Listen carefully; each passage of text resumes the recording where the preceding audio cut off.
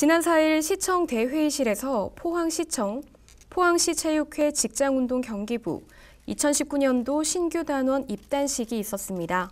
이날 입단식에서는 신규 단원 임용장 수여를 비롯해 2019년도 필승 결의를 위한 선서문 낭독 및 구호 제창이 이어졌습니다.